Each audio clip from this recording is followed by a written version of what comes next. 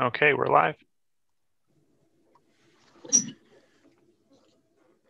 Okay, uh, welcome everybody to the second part of our um, strategic planning session. Uh, we just had our training session in camera, and I wanted to acknowledge for the minutes uh, that General Committee discussed the uh, presentation concerning a confidential education and training session on uh, strategic on approaches to priority setting. Uh, there were no votes taken during the closed portion of the meeting, with the exception, uh, sorry, uh, there were no votes taken during the closed portion of the meeting.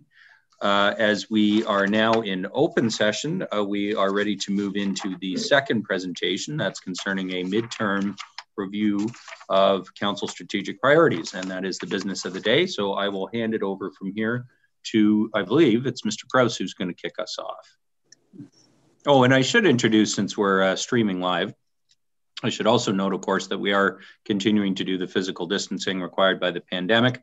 Uh, but we have with us today Mr. Kirk Fox, who is our uh, facilitator to help take council through the strategic planning uh, priority session. It's a bit of an unusual format for general committee uh, in that it's uh, facilitated rather than the, the typical rules of procedure, although we will move a motion at the end if one is appropriate uh, but it is intended to be an open discussion. And that open discussion is first informed by a bit of a review of where we've come from over the last two years and what has been accomplished to, to this point in the term of council.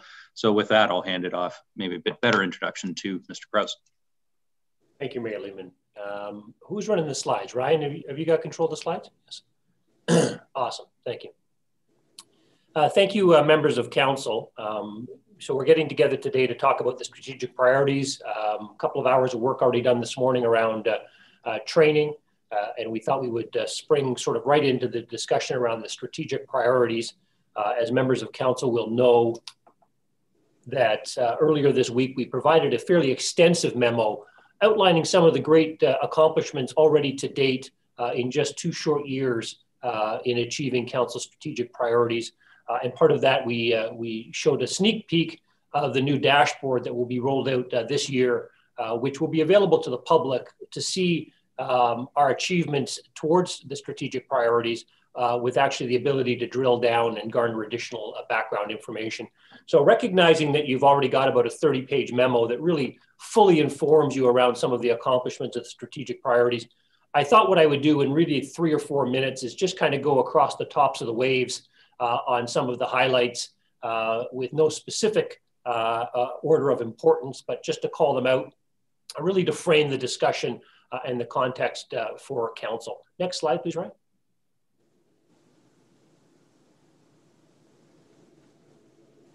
Thank you. Uh, and this should look very familiar to members of council. Uh, it was, uh, you know, in, in the before, as they say, two years ago, we got together and and, uh, and work through what uh, the newly minted council wanted to achieve in their four-year term. Uh, this summer, council uh, drafted the motion that they wanted to review those, uh, those strategic priorities and get together uh, once again midterm and discuss, are they still relevant? Do we need to apply mm-hmm. an accelerant to some areas or do we need to pull back in other areas? and that will be the focus of the, the discussion moving forward. next slide, please, Ryan. Uh, members of council, I just thought I would touch on uh, some of your strategic priorities under, under growing our economy. Uh, the organization in the city has seen the, the launch of the Sandbox Center uh, for Entrepreneurship getting opened. Uh, we launched the Digital uh, Main Street program. we have supported the Accelerate Summit, its conference for entrepreneurs. we've delivered an economic recovery action plan necessitated by the COVID-19 pandemic. Uh, council has approved the municipal accommodation tax uh, to feed into additional uh, tourism measures. Uh, they have also uh, approved the tourism master plan, uh, and we have achieved ongoing partnerships and additional collaboration with key stakeholders throughout the city. And as by way of key performance indicators, members of council will note that the percentage of full-time employment in the city of Barrie for 2019 uh, hit 78.2%, uh, a significant achievement for the city of Barrie. Uh, also of note, uh, our jobs to housing ratio in 2019, for what every one house unit being created, we actually were able to support the creation of 1.41 jobs at the same time, a significant achievement. Next slide, thank you. Under the Fostering a Safe and Healthy City members of council, we completed the Stormwater Master Plan, the Energy Management Plan, uh, implemented measures to protect Lake Simcoe and outdoor recreation facility studies. Uh, we continued with the developing of the framework for the sustainable development, the circular economy, and the community energy and greenhouse gas reduction plan.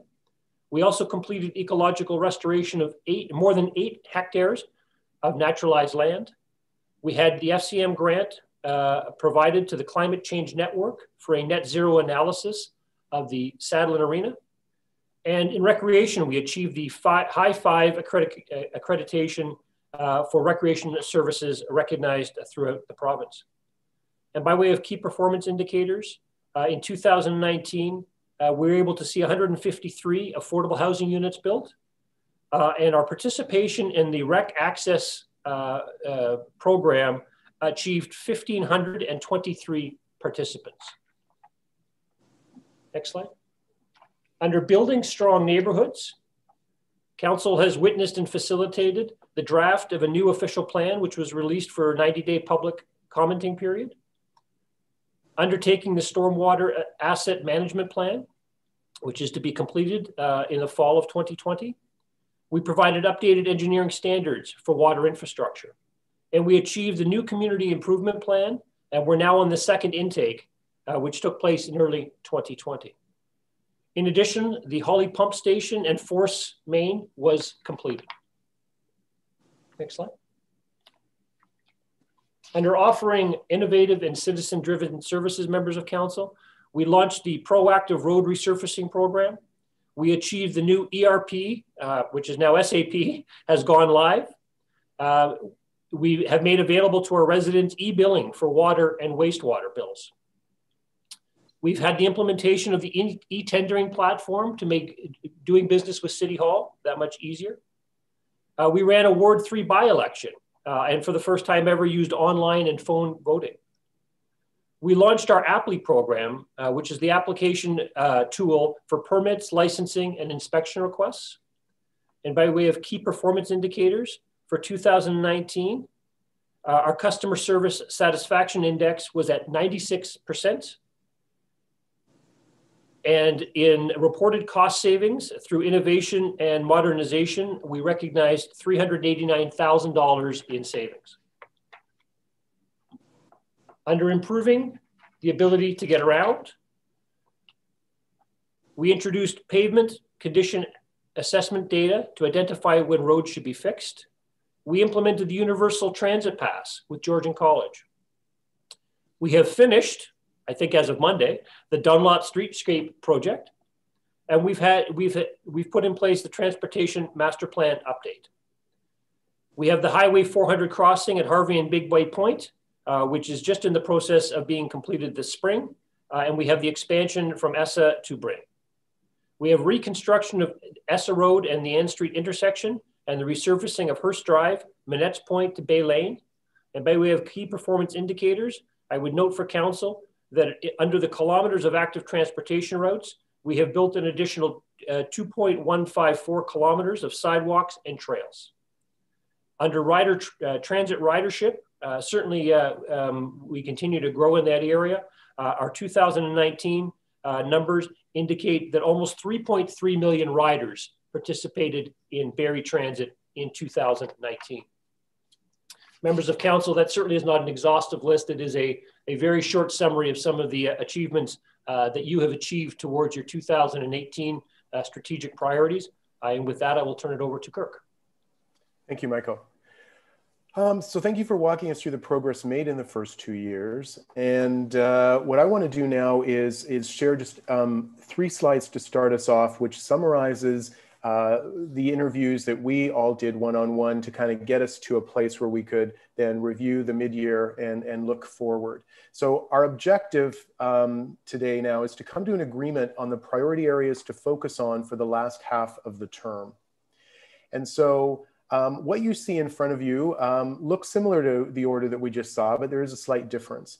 And I asked you all the question of how would you rank these priorities in importance to you and your constituents? And so um, growing our economy was ranked number one and two by the majority of, uh, of all of you in importance. Priority two, fostering a safe and healthy city. Um, almost everybody spoke to the importance of this. Uh, even those who felt it was more the responsibility at times of the county um, still agreed on its importance. A few discussed how to work with the county to make this happen and leverage significant amount of dollars the city contributes to the county. So those were some of the additional comments on priority number two. Priorities two and three were actually very close in proximity and importance based on all of your responses, but still remain in the order shown here. Most of you also indicated the link between the top three priorities, growing the economy, fostering a safe and healthy city, and building strong neighborhoods. And for example, mentioning things like developers, affordable housing, and greener city. Each of those are linked and they come from each of those three priorities. Finally, there was consensus that number five is the um, is number five, offering innovative and citizen-driven services. So that's just a summary of how you all rank them based on our discussion. Go to the next slide, please, Ryan. So after we ranked the general priority categories, I asked you which specific areas still need additional focus. Here are the top three responses based on the number of you who put them forward. So affordable housing and homelessness, 73% of you said that this is one of the top areas of additional focus needed for the second half of the term. Recovering from the effects of COVID-19, over half of you, 55% mentioned this. And in various ways, um, I've summarized it here. You, uh, 50, at least half of you mentioned the downtown, waterfront core projects, and walkable neighborhoods. So each of these come from some of those different general categories that we just looked at before. So obviously this slide doesn't capture all of the specific suggestions that were made, only those where at least half of you suggested them. Um, we'll have an opportunity to add in others that you feel are important that might not be specifically noted here in just a moment. Next slide, please.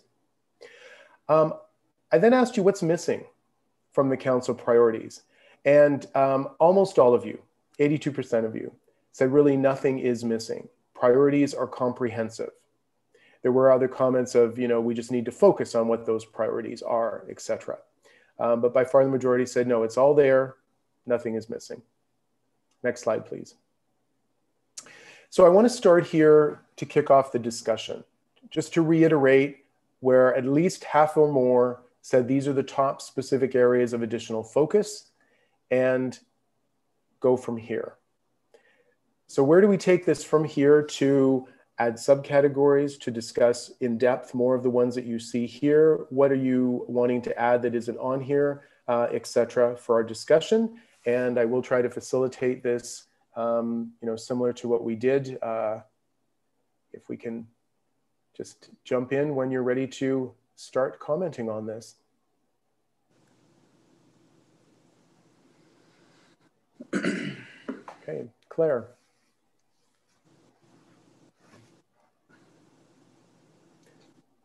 Um, I guess I, I feel a little bit frustrated right off the top when the uh, our 73% of us agreed that affordable uh, housing and homelessness was was the top priority. Um, we really don't have any jurisdiction in that. Uh, I mean, uh, most of it, uh, social housing is is handled by the by the county, who just sends us the bill. Um, and I guess the question that I have in my mind is how do how do we um, actually move something forward um, on that? Um, and that I'm sure there must be things that we can do, um, but you know, like the we've got lots of proposals for development in the downtown and elsewhere. Very few have anything to do or include any affordable housing. Um, and is there a way that we can sort of move that needle? Um, and I guess the other comment I would make is that um, we're affected by COVID. Um, and that is probably the, the biggest uh, piece that this council um, has had to deal with. Um, and it seems to me that there seems to be a light at the end of the tunnel. It may be six months, it may be a year, but um, what is, I, I, I think, you know, we really need to focus on that one and say, what is it that we need to do to help Barrie move through um, this, what's left of COVID, successfully so that we come out the other end stronger and, and better. So those are my comments off the top. Okay. And just for the record, I believe notes are being taken by at least a couple people on all of your comments. So that's why we're not adding them to the slides that we had on before. Okay, thank you, Claire.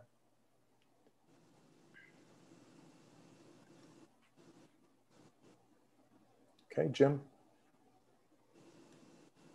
Thank you. Yeah, maybe just to pick up on Councillor Riepma's point, uh, we have been uh, advised through some recent um, reminders from staff that we've done well as it relates to afford meeting affordable housing goals. But and I think it's interesting because uh, you know we all have our perspectives, and from my perspective, in my um, you know professional role, uh, my my view of affordable housing is very very uh, specific because I've worked with people who have very, very low incomes, marginalized. So I think of very, very deep subsidies, which, which to your point, Councilor you're right, that's more of the county and funding that would come from uh, the federal government and province to really get those deep subsidies, even supportive housing. So that's a real important sector um, that you know we're not involved in, but could be supportive of uh, in some way. So I know we've had those conversations at council, had great examples like Lucy's Place in Barrie, and some other opportunities that may exist. So but I think when I think about affordable housing, I think about affordable living. And I think when I remember walking neighborhoods uh, during campaigning, it wasn't just, it was people who were young, um, trying to get into the market, who didn't see housing as affordable for them, and people who were in housing but were on fixed income, seniors who are having it having a hard time affording maintaining their housing. So I will see it more as affordable living. And some of the developments that we've always had this really, really uh, low vacancy rate in Barrie, so low that we're on a list with Toronto and Vancouver as places that have these really, really high rents in Canada. And, you know, Barrie's a great place, but on those lists, that's a list you wouldn't want to be on necessarily. But some of the things that we're doing, we're receiving as developments are increasing the uh, amount of housing available, rental housing available, which actually will hopefully will, you know, I'm no expert in this, but you know more more uh, volume in the market, more supply will hopefully you know allow us to see you know maybe a recorrection in, in the Barrie rental market and make housing more affordable by having more volume. So it's, it's, a real cumulative effort, and I think there has been some good signs and and where we can support those really really deep uh, um, affordable housing initiatives we've been trying to and i think we have a good when we have conversations council is pretty aligned on that I, I like to think so as far as how can we do what we can do within our scope of, of um, responsibility and authority. So I, I, think there's a lot of positives to build on. Thank you. Okay. Thank you, Councillor Harris.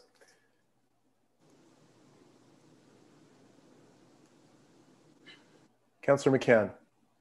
Uh, thank you, Mr. Fox. Can I just uh, make it clear that 70%, eight out of 10 councillors voted that um, uh, affordable housing was their number one priority?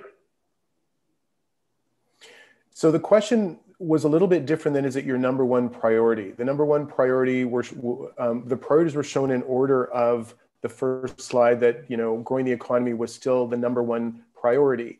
When asked what specific um, projects or areas of focus do we need to focus on going forward, this was by far mentioned the most. Okay. So, it, okay, so it's so a distinction between the number one priority and the one that was mentioned the most is what we need to focus on. Right. Does okay. that make sense?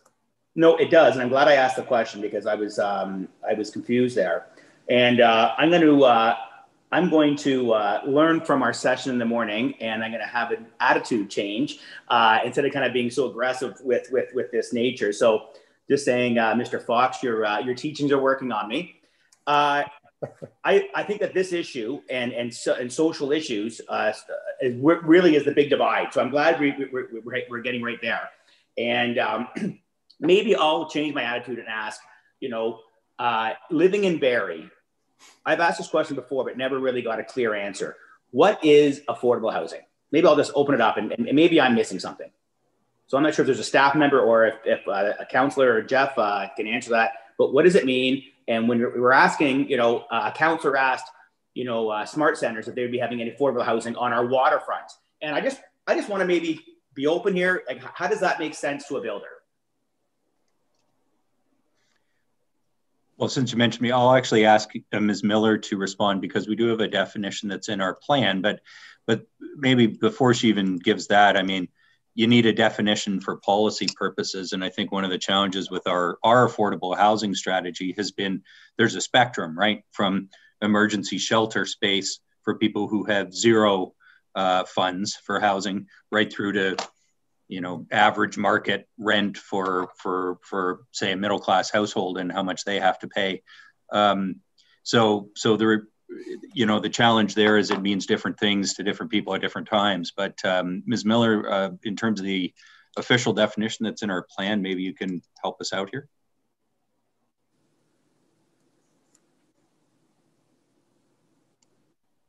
Thank you, um, Mayor Lehman. Uh, you're right, there is a definition in our official plan and in our um, um, community improvement plan, and it does speak to um, the county's definition, which relates to um, income and um, uh, the uh, percentage that you would spend on, on housing.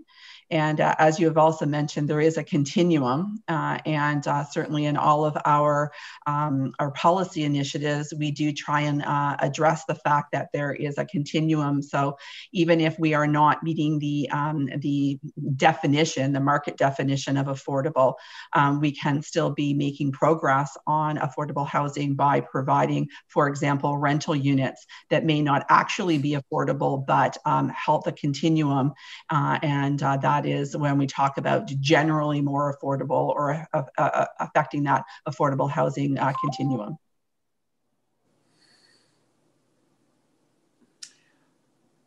Uh, thank you for that. Uh, maybe I can talk maybe in dollars and cents.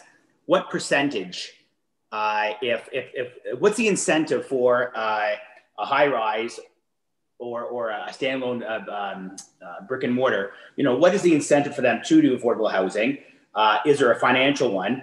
And uh, is it 30% of, of cost? That's what I remember when I asked this question before that if it's a million dollar condo, if they sell it for 700, that's considered affordable housing.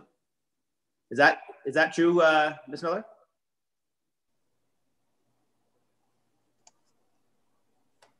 Sorry, Councillor McCann, can you just repeat that in terms of um, what the percentage you're looking for? So is there a percentage? So to make math easy, if there was a million dollar condo being built in Barrie and they uh, and, and they sold it for seven hundred thousand dollars, so thirty percent less, is that considered affordable housing? No, it's not.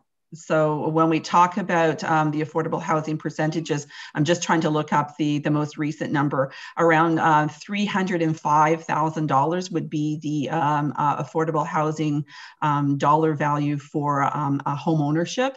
Uh, and it's around $1,100 uh, or $1,200 for, um, for a rental unit, which would be uh, equated to a one bedroom. So $300,000. So you're looking at probably someone who has an income of uh, 70, 80, uh, 65 grand then they'd be able to get a mortgage for $300,000. That's roughly the math behind it. Anybody here better in math than I am? Okay, so I think that's around 60, let's say 60 to $80,000 you need to make to have affordable home. So I guess my frustration that I have with, with this, with this slide and uh, and I'm, I'm going to go further down the rabbit hole because I do believe that this this issue is what separates this council. Uh, is you know asking landowner or asking builders to have a uh, affordable housing in a lakeshore property, right? Like I just I'm not here to center anybody out. I'm just maybe telling what's been amplifying maybe some of the the um, the negative press or the, or, or, or, the, or the stresses that I, that I have on a Monday night is questions like this. And, and it's, it's more than just a question. because I don't mind asking the question. It's just the intent. Like how far back does that go? And it sounds to me that, you know, um, 73% of us um, said this is a concern of theirs. I'm just trying to understand the, the logic behind it. Does it make sense for this council to be talking about social services pretty much on a weekly basis. So um, maybe I'll just leave it as a statement. And hopefully, if somebody feels uh, up to maybe questioning that, having a little bit of debate with that, but I think that sometime in the near future, we need to answer that question. Thank you, Mr. Fox. Okay. Thank you, Councillor McCann. Uh, Councillor Harvey.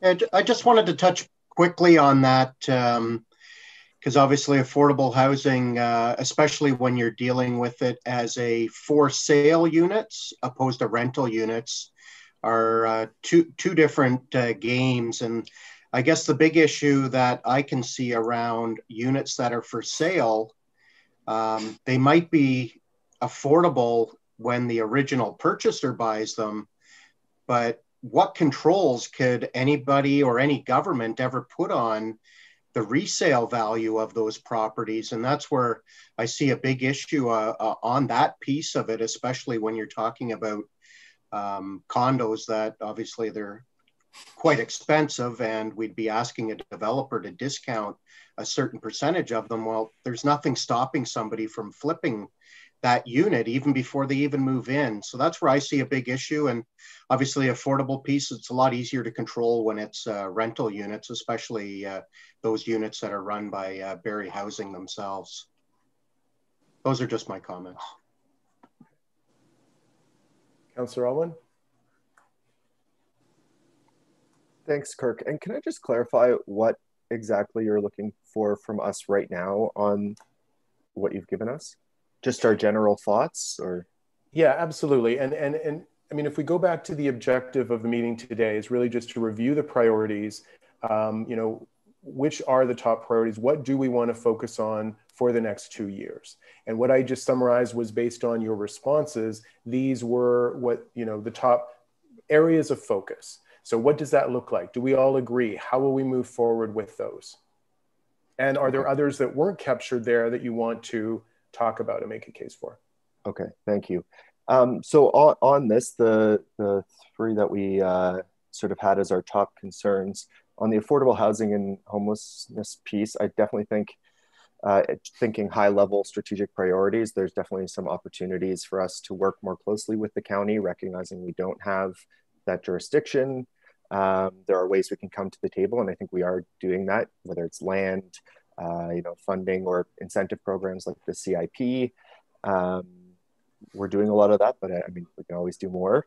Um, and on recovering from the effects of COVID 19, uh, agreed. I, I would say, based on some of our job numbers and our economic growth, uh, performing very well compared to some other municipalities.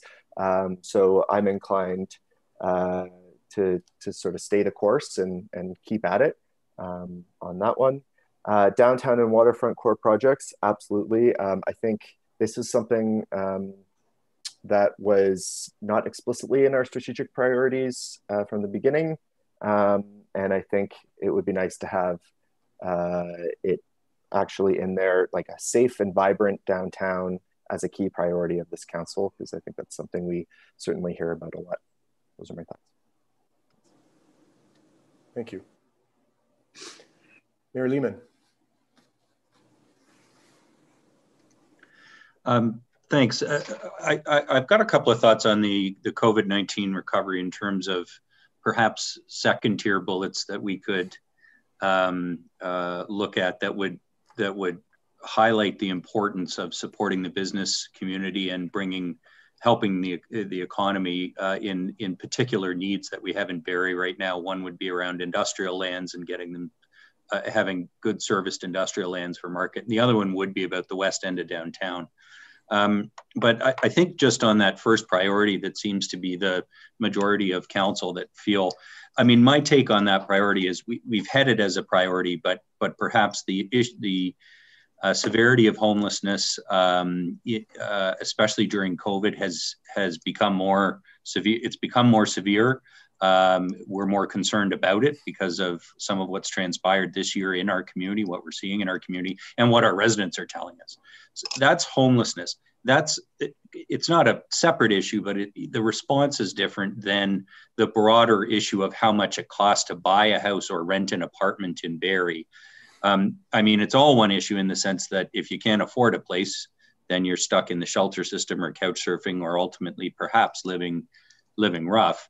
Um, so our broader strategic response, since we're about our, our priorities today, you know, there does need to be a plan for how do we get more rental housing built in Barrie so that eventually rents come come down or at least they don't go up as fast. And right now, everything's going up in price, purchase, rent, everything. So housing is actually becoming less affordable. And I don't know if that's one of the reasons why everybody made it such a priority or area of focus, but it was certainly one of the reasons why I think it needs to be an area of focus. So, just quickly on those two things, the broader issue is one of planning policy and how do we encourage more rental housing to be built all over the city in whatever appropriate forms uh, that would take, whether that's three and four story apartments on arterial roads, high rise developments closer to the core, or townhouse developments in in the the right spot in suburban locations or in our new neighborhoods. Um, so I think if there's a strategic piece in that, it's how do we in the next two years, with the price of housing going up so fast because partly because of COVID, but also just because of the strength of our economy, how do we sort of double down and make sure that we're getting that rental housing constructed? And then the homelessness piece um, is is different, and and I think uh, somebody else mentioned previously the supportive housing piece. I mean, we've known, and and I think this council has heard presentations from the charitable community um, that service uh, that try and ser- serve our homeless population. That's what's needed, and I think the two things, COVID recovery and homelessness, are related because right now, our homeless population, by and large, are living in uh, hotels to allow for distancing. And the county right now is trying to lease another building to allow more people to come indoors into uh, into distant spaces.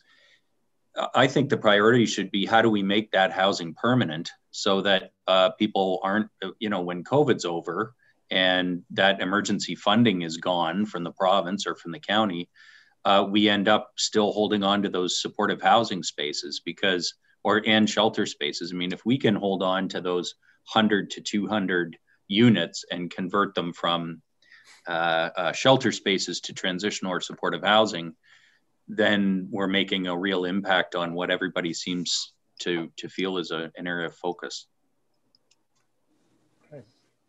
Thank you, Mayor Lehman. Um, I'm trying to remember who was next. I think it was Councillor Ward. Actually, I think Councillor Natalie Harris had her sign up before me. Ah, apologies. Councillor Harris. That's okay. Actually, um, Mayor Lehman covered kind of what I was going to say with the COVID being pretty linked to um, affordable housing. Okay, thank you. Councillor Ward?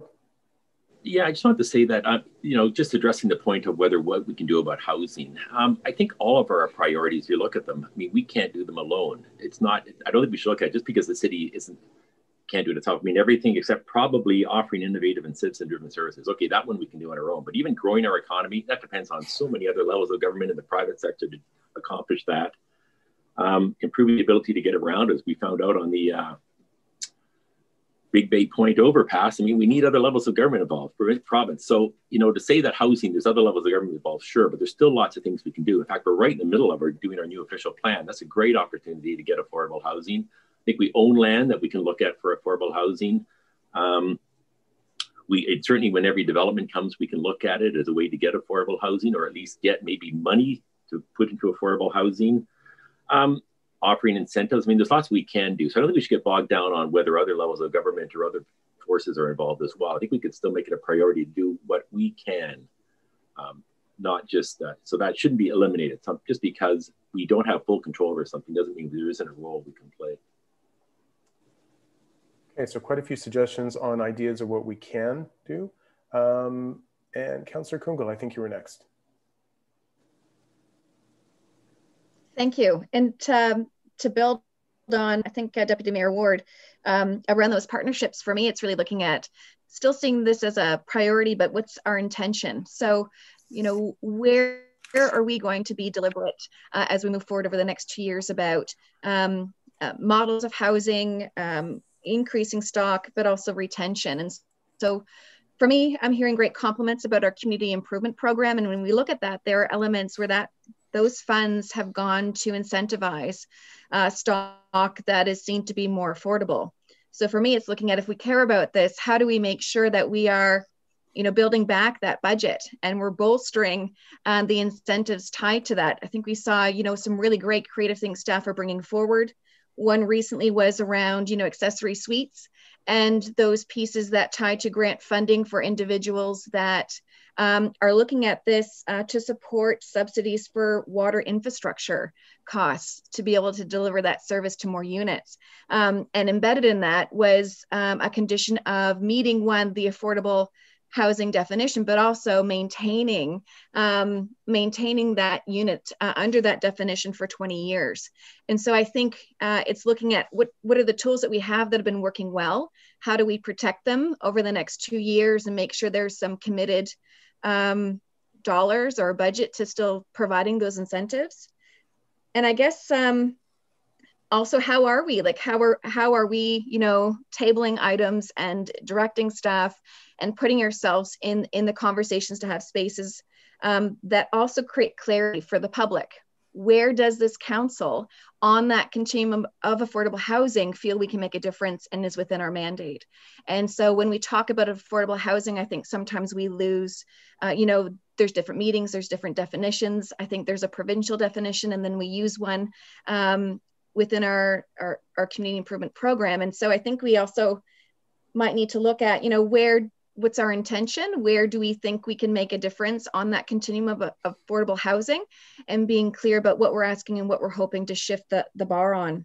But i hope we look at it also around retention. We're having those conversations uh, often at the seniors advisory council uh, with a focus on housing and seniors. And so where do we see the need but also where are we forecasting vulnerability? And I'm seeing that more and more about being able to continue to forward uh, rental units. And so there's the building of stock, but then there's the also, uh, are there things that are within our role or conversations and partnerships we need to have that are proactive about being able to support individuals to retain uh, housing?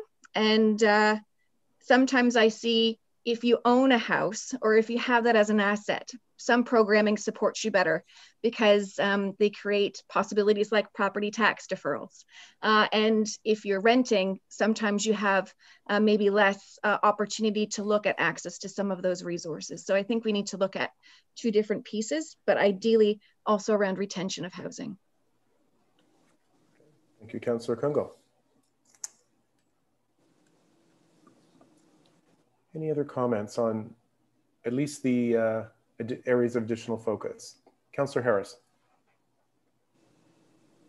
Yeah, I think um, to go with what Councillor is talking about with retention of housing. So that's a really great conversation that I actually had with um. Miller over the last few months with respect to a certain development in my ward. Um, I definitely, I think it would be a great um, thing to even have just a meeting about that and to really educate everyone on what are our limitations what are the rules around what can like and, and also along with what councillor harvey was saying that um, you know sometimes there what really can we do to prevent the flip of affordable house even before a person is even living in it um, because of the market right now. So um, we don't necessarily have to do that right now and elaborate, but I think it's a really great point to have all of council on board because I learned a lot by talking to Miss Miller about what the expectations are that I had versus what are even possible right now. And uh, with the market being just so drastically, um, you know, hot or whatever you want to call it i think it's really important that we all are on the same page with what what can we even do? What are we even able to do? So that would be great. Okay. Thank you councillor harrison. A lot of that speaks to councillor mccann's questions as well. Um, common definitions and so on okay any other comments on the top areas of focus? Okay, so what do we want to add? Um, you've already started talking about some what, what I might call sub bullets to this, um, further meetings, more information. Um, what's not on there that needs to be a focus for the last half of the term?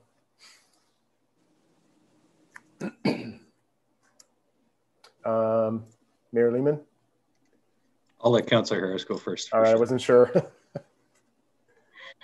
Thank you. Maybe we're going to head down the right same path i'm not sure but um, on our last two years i think it's it's really important to make one of our priorities just how we collaborate as a council together to um, you know we had a, a, a really great conversation around the interesting aspects and um, you know unfortunate aspects of having everything on zoom and not having that personal connection that we used to have when we were be, would be able to sit around the semicircle in city council. So um, you know going forward what are the things that now that covid has presented us with all these limitations of being able to connect personally what kind of um, you know checks and balances can we maintain so that we're not just focused on um, you know obviously it's the most important thing to focus on what's happening in the city and what our constituents need but the, the way that we will you know effectively bring those points to city council is to work really well collaboratively and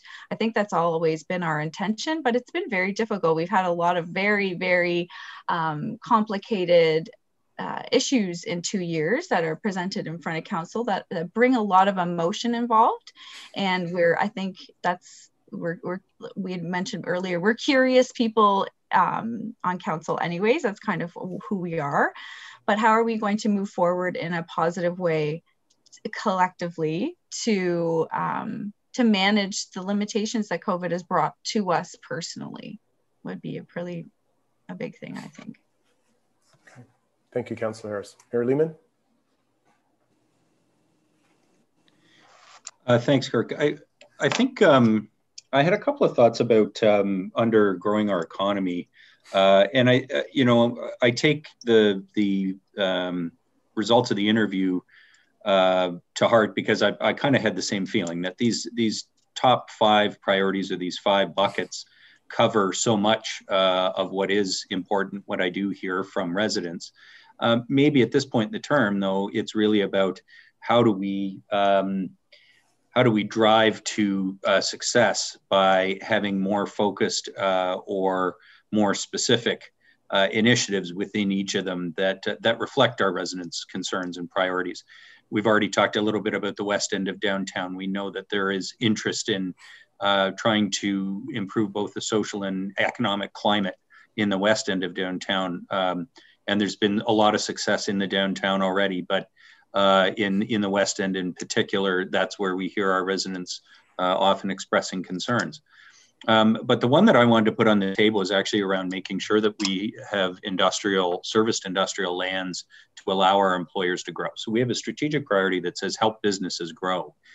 Uh, perhaps it should be more specific because our role in that is to make sure that there's serviced industrial land so that our largest so when it comes to manufacturers and that's of course just one uh, 12% of our economy but it's such an important 12% for lots of reasons. Um, we don't have enough large industrial parcels within the city of barrie that are serviced to compete. Um, other municipalities have lands uh, that are serviced and available and Barrie is struggling uh, to meet the needs of just our own employers who want to grow and build a new plant or large facility, let alone somebody who wants to move to Barrie. So we've seen Bradford, you know, at at the Highway 400 interchange, uh, build their business park and so forth. So, as an example of a strategic priority, I mean, it, it it's kind of a next. It's a, it's definitely second tier. It might even be kind of third tier, but ensuring that we have serviced industrial lands or build a new business park, might be another way to say it in plain language, um, to offer our employers to help businesses grow. I think it needs to be a, a priority of this council in the next two years uh, because I'm, I'm worried that um, we're going to lose out.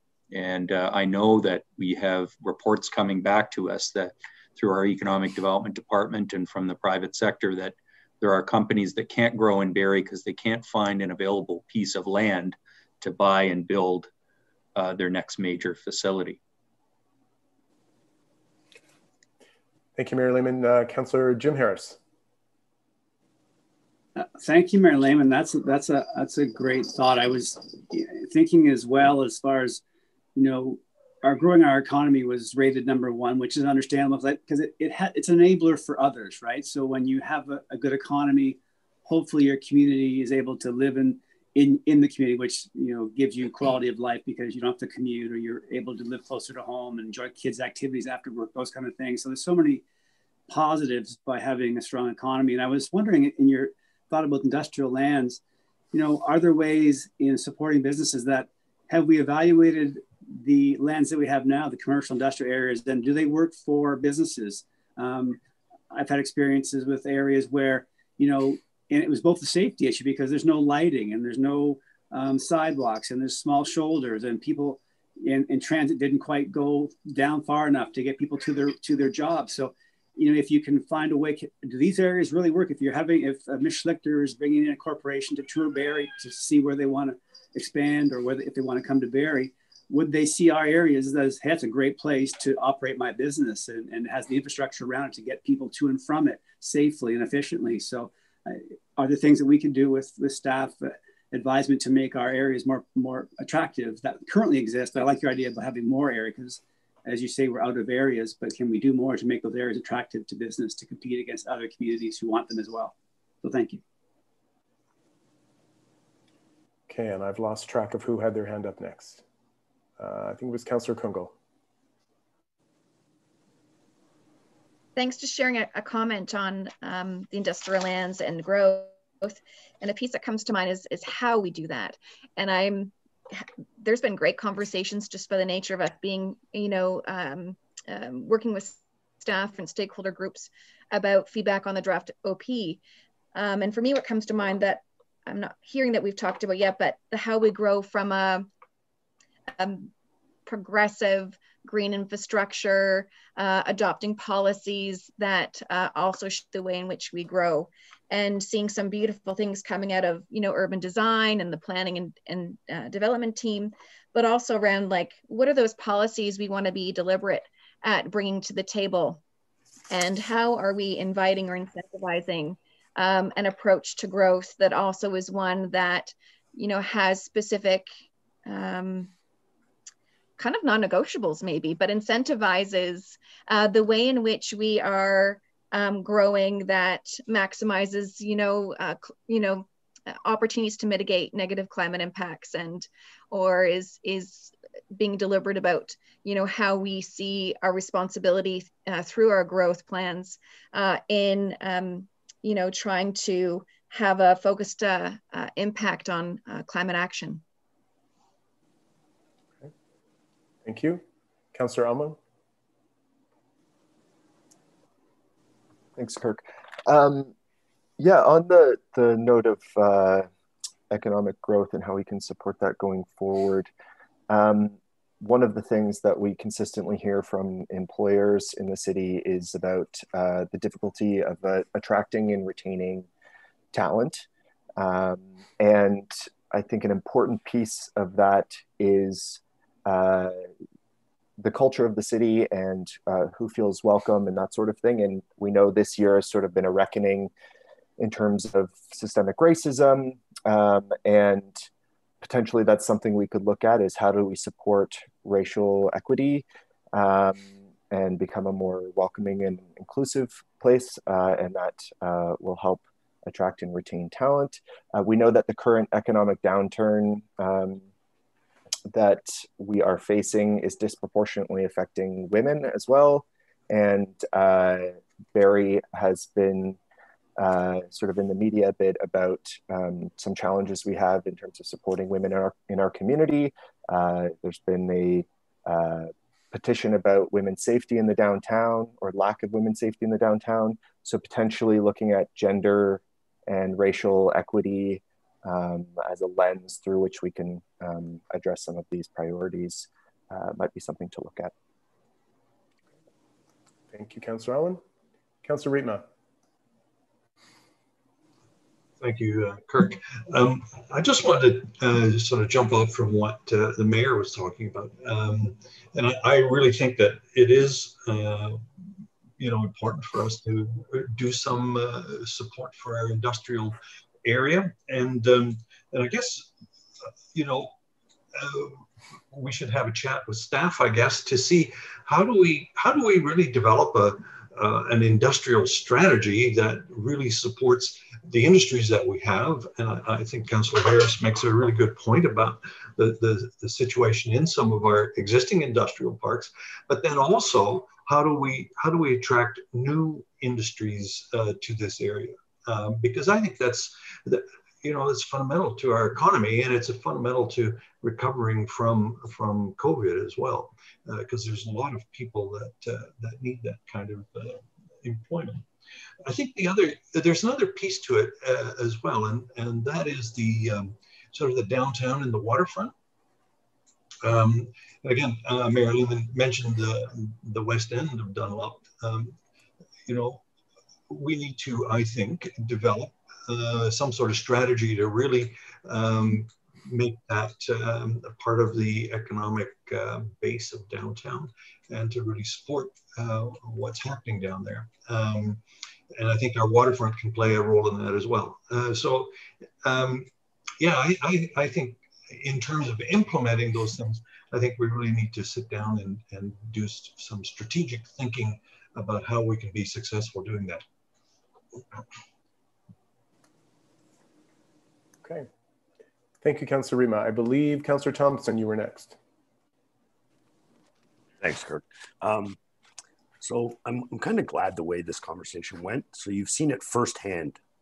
Mayor Lehman mentioned about the industrial lands having a plan go forward, and we take a left turn and talk about everything other than the conversation that Mayor Lehman mentioned about looking at the industrial lands that we have incentivizing. And I actually brought a motion to council for staff to look at that and to be competitive, as Mayor Lehman mentioned, about the industrial park in Bradford. And we're already throwing, you know, other things in the way. And, and this is, and look, all issues are important, but we need to focus on the ones that we're discussing, where Mayor Lehman had mentioned it about kind of a subsection of grow our economy. Look at the industrial lands, incentivize, you know, see what we can do for the companies we have to grow and to attract. And then we've talked about, you know, which are extremely important issues systemic racism, safety downtown, the West End Like, so those three places that were mentioned, um, they're not in the industrial lands.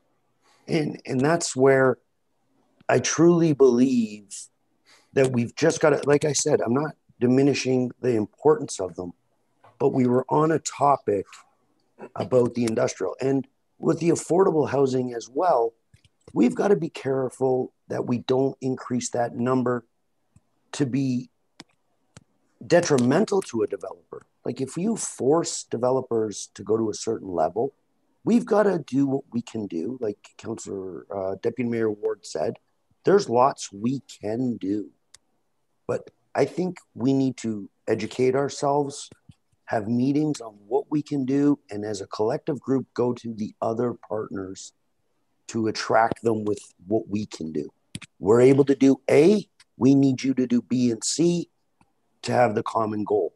But I, I couldn't agree more with Mayor Lehman. We need the industrial lands for everything else to go, um, which is going to make it live, work, and play. And then it overflows into a better, you know, neighborhoods and people and everything, and we attract it. So that's, uh, I'm kind of glad it, it went this way, and I'm not diminishing the importance of the other issues. I just think that we got to stay on what we're doing. Thank you, Councillor Thompson. And, and if I can just um, maybe jump in quickly and, and say, you know, I was encouraging everyone to add in, um, you know, their thoughts on what could be sub bullets for some of these original priorities that were uh, mentioned by all of you. Um, and so um, it, it, it, did feel a bit like a, a bit of a brainstorm was encouraged. Um, if, if there's one topic that has been brought up, um, such as the industrial lens, that you want to all dig deeper on and we just focus on that, we can certainly do that specifically as well. So I'll take part responsibility for encouraging a, a variety of comments there as well. Uh, so, but good. thank you for that point. Mayor Lehman, I think you were next. Yeah, I just wanted to suggest, actually, Kirk, I've been listening to the discussion here and reflecting a little bit on um, on the training earlier this morning, and you know, I think one of the challenges council has when we try and deal with these strategic issues um, is, you know, we'll set a priority or we'll say something's important as we did two years ago and as we will today. But then we often respond to whatever aspect of it hits a council agenda because that's what's on the agenda. So, you know, we want to deal with affordable housing. And then either a member brings an item for discussion or staff bring us a project or an issue arises. And we have to respond to it as an individual piece, which isn't strategic, that's sort of tactical. What we miss is the, the middle step where we sort of say, okay, and this is a good example because the how becomes important. If if today we say, okay, these are our strategic priorities, and one of the things that's coming out of today is doubling down on on homelessness, for example. If one of them is a new industrial, a new new industrial lands or a business park, that next step that says, here's our strategy as to how to do it, rather than just us saying, this is important. And then we react to what comes back and we say, oh, well, that wasn't really what I had in mind. Or that's only part of this. And, and I've seen, I think, in the first two years of this council, some frustration among members, and I've felt it that at times, because you know, staff try and follow these strategic priorities in what they bring us, but because we haven't actually had that opportunity to delve deeper. And Councillor Kungl's point a few minutes ago was actually really good on this on the senior side because I want, you know, we have a seniors advisory committee who often forward us very good ideas as to how we might help seniors in our community. But but you know that's a sort of motion that lands at a reference committee and eventually ends up at council. And there's no opportunity for council to get together perhaps a little less informally and do a deeper dive. So uh, i'm sorry i'm speaking more to process here but i think one of the things i'm taking away from today is if we are successful today in saying there are a few areas of strategic focus that we want to put more effort into even if we don't get to uh, a full discussion as to how today because probably we're not equipped for that uh, today either with the level of information available to us.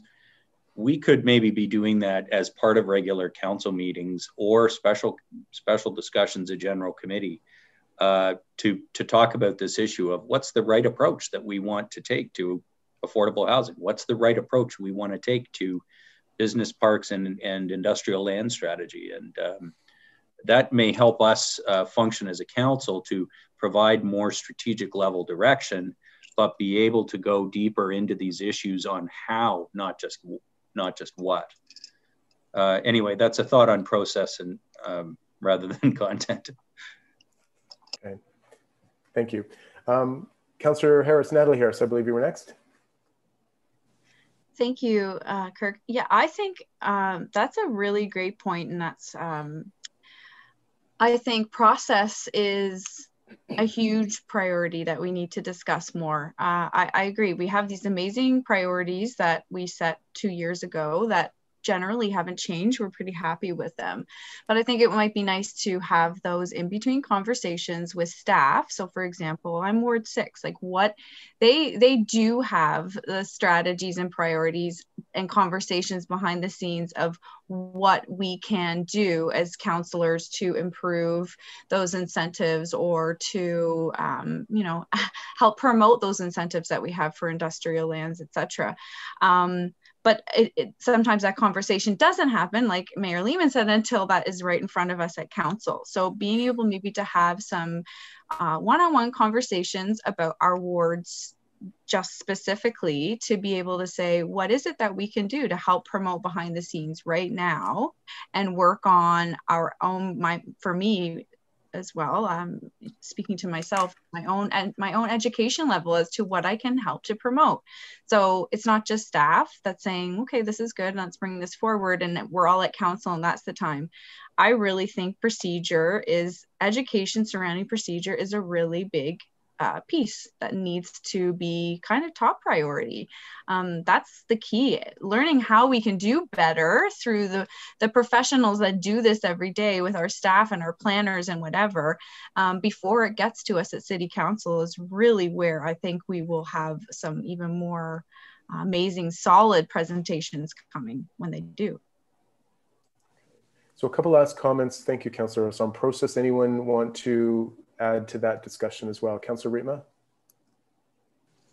Thank you, Kirk. Um, and I think we already know how to do this. Um, I think we just need to do it. If you reflect back on just a few months ago, we adopted a parking strategy. You know, that's that can be contentious. That is very complicated. It has a lot of moving parts to it. And you know what? um, you know, we dealt with that, and I think we came out with a really good strategy. And um, I think everybody understood it, and I think it'll work. And I'm sure that if there's some pieces to it that don't work, we'll be able to go back and tweak it. But um, I, I thought that process went very well, and I think we know how to do it. I think we just need to apply it to uh, other situations. Councillor Riepma, can, can you possibly expand on what worked in that situation that we can take to apply to some of the different situations? Can you elaborate a little bit more? Sure. Um, um, what staff did was they um, they had hired a consultant. They'd done a lot of a lot of work on, on, on putting a report together, and then they invited um, councillors, you know, in small groups to discuss um, the process, the what the conclusions were, and and we had the opportunity to everybody like they put out a kind of a draft, I think, and then we had opportunities to ask questions about it, make comments about it, and it was all fairly informal up to a point, um, and then at, at uh, when when sort of everybody had some some thoughts about it, um, then the staff brought it to council, and we had a discussion about it. Um, at general committee, and then it was approved at council. I, I thought the whole process went very smoothly. Um, and, and, I think part of the, the key to it was that um, we all got a chance to, to sort of make some comments about it as, as it was developing. And um, I think that was helpful. It, it, it, probably was helpful for staff in terms of developing a strategy. More importantly, was helpful um, for councillors so that we understood the strategy and, and could give some thought to it. So. Okay. Thank you, Councillor Riepma. Councillor Jim Harris, we're next. Uh, thank you, Councillor Riepma. That's a great example. And, and just to extend the example, even in the parking, and I know yourself having Johnson's Beach and Councillor Aylwin having uh, Centennial and Councillor uh, McCann with Wilkins and myself with Minet's and um, we recently had an even more in-depth meeting uh, with staff about the particular strategies for the spillover parking that we, we were uh, experiencing from uh, COVID and, and the, the, popularity of our beaches and moving forward, how do we deal with that? And also inside that, we had really good data and information from our residents, those who were most impacted by those areas. And so I thought that was a great example of really getting you know, the, the broad picture, the council, the staff expertise, and the residents most impacted by some real key issues, and then giving that information, having a real thoughtful discussion about how to then apply. So I, I really uh, do uh, think we have some great examples of process and engagement, and then application of that in a way that allows us to really uh, make the best decision with the information that we have available to us uh, for our citizens. So I think that was a really great example. So I'm thinking about how do you apply that with business or in the industrial areas around what they might need as it relates to improving the area to be either, either expand or make it more efficient, safer for their staff to get to and from the workplace. So there's some really good learnings in that. And I think staff did a wonderful job of engaging both council and citizens. So thank you. Thank you, Councillor Harris. Uh, Councillor Kungl. I'll add this to come back to kind of a, a next step. And uh, if I may, Councillor Jim Harris, you, you um, that those comments gave me some good thought threads um, back to your initial initial comments about even you know deficiencies of our current existing assets. So if we care about um, you know maximizing our in, industrial spaces, then you know, how do, how do we um, also help uh, to identify you know, what information do we really care about? And and and what are we seeking? Um, and for instance you know would there be a next step that um, we would then look to say you know are there assets we have that are not palatable to uh, different businesses? And what are the deficit uh, deficiencies that they see? And then what is that ranking around cost versus uh, opportunity um, to look at uh, how do we bring some of those existing assets to a, to a better place? And how does that become a priority in addition to you know um, or over? You know how do we establish uh, uh new spaces or you know uh, a new area to incentivize completing um, some of that industrial land and uh, with good servicing? So that would even be great information. I'm not sure if we're going there next, but I mean, it comes to question to say, okay, well, how do we how do we move forward in an informed way and informed decision making? Some of that's coming through, I think, processes that you know, uh, Councillor Riepma's talked about um, with you know get, how we get information, how we dialogue around information, but also then identifying what do we really care about and where are we focusing um, funding uh, and investment. And so is that on existing or is that is that on new? So I'd love to take the conversation around industrial lands forward um, and and look at that. How do you know how do we be strategic in that space around uh, uh, improving our opportunities to to attract businesses? Okay. Thank you, Councillor Kungl. Any comments? Anyone want to build on that?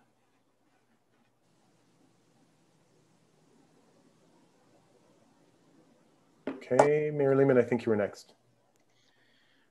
Thanks. I mean, I don't want to segue away from this if there's more that members of council want to talk about, but if if we move from sort of industrial growth strategy to to broader the COVID-19 recovery and the broader economic strategy for the city, I mean, we um, I think small business is another piece of this, and I think we've, uh, you know, the province has recently given us um, uh, a new tax tool should we wish to investigate that. That's a that's a how. That's not a strategic priority. That's a one potential initiative that the city could take or not take. But it raises the question, and I think the whole COVID recovery focus has really raised the issue right now. In, a, in you know, the the, the world is um, polarizing. Uh, you know, with people now either get something from Amazon or a big box, or they get it from a local shop. There's there's less in between, uh, and and that polarization of either it's getting delivered through the supply chain from China uh, because we ordered it online, or we're getting it from someone local. But but, there, but there isn't a lot in between. Uh, it, that's creating a different kind of competition for our local small businesses. And where you're delivering a service, it's a lot easier because the, the service in many cases has to be delivered locally. But when you're selling goods, whether you're a retail store or you're a manufacturer, uh, you know, or you're a farmer, um, or you're a food producer. It's it it's much different, and the the um, need for communities to support their local economies uh, becomes different. And I think you know we've so I'll give you a great example. We got an incredible farmers market, right? I mean, we our farmers market is one of the highlights of the city. People love it not even with COVID, they've done a wonderful job of pivoting to operating in person safely and, and building their online. I can't believe how much online capacity that bunch of vendors now have uh, compared to four months ago. So, how do we jump off that and sort of strategically say, you know, how can we create um, new channels for local businesses, small businesses, to to sell their products in our community? Um, and and I don't think that's intervening too far into the economy. I know there are some people who feel strategically, you know, what's a local government doing, getting involved in in trying to promote, um, you know, local merchants versus Amazon or something like that. And I'm not not bashing Amazon. I've ordered stuff from Amazon too, but but I think the um, the, the there are some new tools we've been given. COVID is demanding this of us, and it should.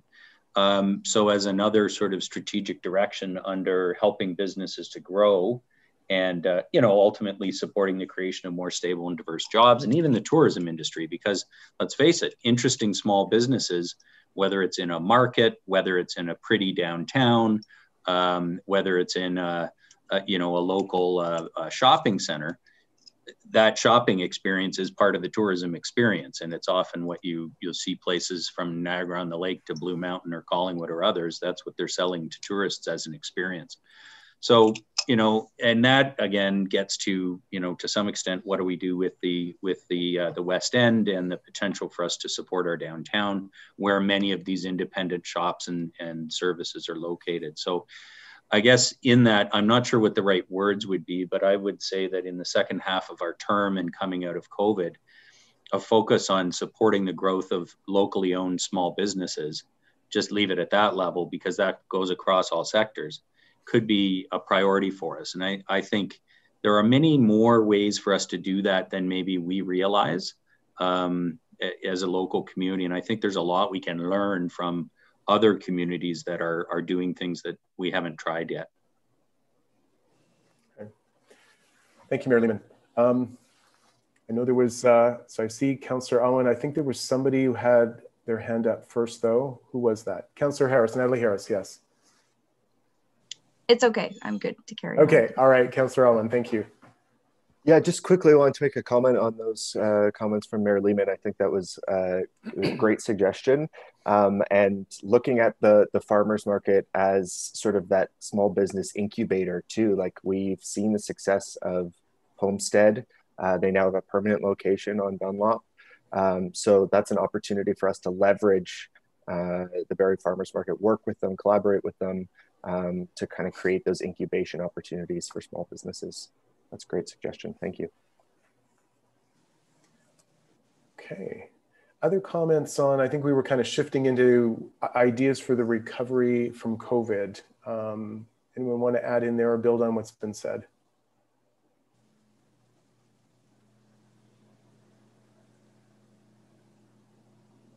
Okay, I'm looking around. Okay. Um, so uh, I, I, put it out there for other comments about what wasn't on this list. There were um, a few things we've kind of kept into the theme of these three buckets, if you will, of additional focus. Um, so are there any other comments specifically on these three, or shall we shift into any anything else that hasn't been talked about yet?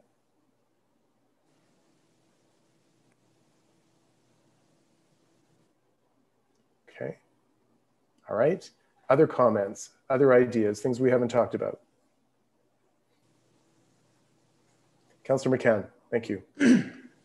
Uh, thank you, Mr. Fox. Uh, maybe I'll ask a general question with, to the mayor and uh, the rest of the council members. Uh, the downtown, are your residents talking to you about it? And what are they saying? If you don't mind, Mr. Fox, maybe open up. Okay, Councillor Aylwin. Uh, yeah, I hear. I mean, particularly through COVID, uh, small businesses needing support, uh, needing more customers. We need more people living in and around the downtown. Um, also, uh, perception of a lack of safety um, is is a real issue. I know the Downtown Business Improvement Association uh, talks about that a lot. How uh, we need to sort of change that perception and make sure everyone feels safe in the downtown those are two probably the two biggest things that I hear. More people, uh, more safety. Thank you. Who else wants Maybe. to comment on that? Yeah. Because a lot of you did say downtown. I heard it in numerous comments. Councillor Riepma.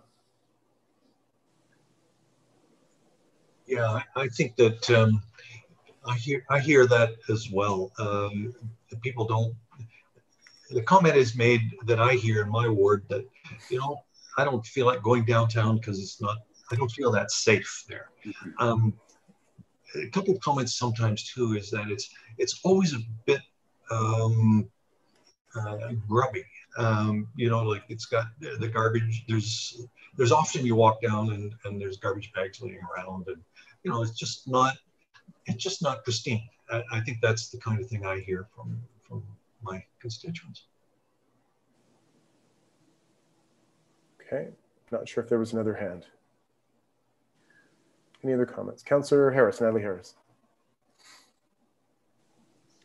yeah, I hear a lot about concern business from concerned business owners that are, I mean, you could just, it's sad that we're opening up the Dunlop area and this streetscaping is almost complete. And you see just a lot more closed stores because of COVID uh, restrictions. So that's uh, really disappointing. And then also, yeah, the perception for sure of downtown, especially the West End, um, and the perceived and real safety concerns that do exist. So, um, you know, I'd be interested definitely in and and talking like on a more direct level about how we can improve the West End.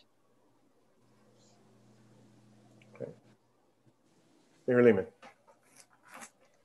Yeah, I definitely hear exactly what Natalie uh, just mentioned. Um, the, if I was to locate the complaints that I've received um, I would say 90% of them are west of five points. Uh, some of that has to do with the timing of construction. Um, some of that has to do with, uh, I mean, if we did a map of the the active, uh, like the patios, you would find 90% of them east of Five Points. And I, I really, you know, my you're supposed to love all your children equally in in politics, but I'll tell you that my my my sympathies go out most, or my my support to the longstanding businesses in the West End who really want this to work, and the new businesses who've chosen the West End that really want it to work. Um, you know, I think of the the LeBoeufs and Town and Country Steakhouse and Red Tulip, and uh, you know, I they they really really want to make this work. And and I will say a couple of positives. I hear hugely positive comments from my residents about the streetscape. Uh, they really like uh, what they see in terms of addressing some of those concerns that Councillor Riepma talked about. Uh, I think that public realm that has been created, the broader sidewalk and the improvements, are, are going to be great, but probably not mostly until you know April next year when both we're able to gather and the weather allows us to. So I think there's a real tough period for the next four months. But I think on the strategic side, um, uh, uh, more broadly, I would say, you know, we've got these three enormous developments uh, that um, are proposed in our downtown. One is approved, one is on the edges of being approved, and the and the third is is still in the works. But you know, they will change the downtown, the west end of the downtown completely. Um, to have thousands more people living in that three block area will create a local market for businesses, uh, but it will also create that more people that um, uh, that uh, uh Keenan just talked about. Which you know, busier streets are safer streets. I've you know that is just the case, and right now they're completely empty in many cases because of COVID and because of the construction, and that is, I think, contributing to the center the feeling of no, of no safety. So uh, but I actually don't want to say that as though it'll fix itself, because here's my concern: those major developments are going to be under construction for a while. So we've just had the street under construction. Then you're going to have these huge blocks of land that are under construction, and it's going to feel like constant construction in the West End for a while. Ultimately, it'll be incredible but in the interim, I think we're going to have a bit of an ongoing issue, which will be that the down the west end of the downtown will feel like things are happening, but it's under construction. And so I think our public in, interventions, by which I mean, do we do a project in the west end of the downtown, are going to be really, really important. And it's going to be really important that those projects bring people to the west end of the downtown. And I know we're going to have a conversation around this on Monday because of the precinct plan and so forth. But I'll just put out there right now that uh, I honestly think um, we have this sort of four month, five month window for us to have a further conversation and discussion around how we can stimulate the economy of the west end of downtown and then we should just be going gangbusters at it once uh, uh, once the spring starts and COVID COVID stops, uh, which hopefully will be the same time, but it might be longer, I guess. And the reason I say that, Mr. Fox and, and members of General Committee, is I feel like you know there's probably four pieces of land in the West End that are publicly owned that we have an opportunity to do something on or not. And I'm sure we're going to have a lively debate around what the right thing is on those different pieces. But there's the bus terminal, there's the the uh, Barrie Central lands, there's the remaining piece of the waterfront where the gravel parking lots are, uh, and there's this the Sea Cadet site. And there's a potential to do uh, one or more projects on those, which I think can help bridge the next 10 years for the west end of the downtown as these huge projects build out and it becomes a much different place. In the meantime, though, I think if we're going to support those businesses and support the economy of the West End and really take advantage of the tourism opportunity that comes with, for example, something like a market, um, that's the strategic direction we need to, as a council, decide on. And um, so, again, for a strategic priorities session, um, I had thought about today, you know, there's this precinct plan that is the basis for what can be a West End revitalization strategy. But to me, and my this my last comment on this would be my suggestion is it's not really a land use strategy or a um, you know a, a, public realm or at least landscaping strategy. It's not about what street furniture or street lights do we have in the west end of downtown. That's not the problem. The, the problem is we have some key social issues that we have to address. And I think we've already talked about that a bit today. The second piece is we need economic activity in the west end of the downtown. And, and that means how do we build the, an economic strategy rather than just a, a map? Uh, maps are great. I love maps. I'm a planner by background, but maps don't don't create economic activity. Um, businesses and attractions and projects and people are uh, economic activity, and that's to me what we need to focus on in the second half of the term for the for the West End. Thank you, Mayor Lehman. Um, Councillor McCann, can I go back to you? You you posed that question. Was there um, some thoughts, some insight from the answers. Anything you want to add to that? Yeah, I appreciate that, Mr. Fox. Yeah, I definitely do, and, and I definitely have some strong opinions, and uh, I definitely hear a lot of strong opinions from our residents, and uh, they think the downtown's like you can pretty much fire a cannon through it. It's it's it's empty right now, and like uh, uh, Councillor uh, had mentioned, there's some real safety concerns. Now, I'm not sure if those are real or they're you know uh, perception, but perception is reality. And uh, I'm just getting a little uh, tired of hearing that our downtown is is like a war zone, and I think it should be one of our uh, priorities. I think we need to pilot that. We need to, you know, uh, the best time to, to handle an objection is when you, we, we bring it up, not when our residents bring it up, right?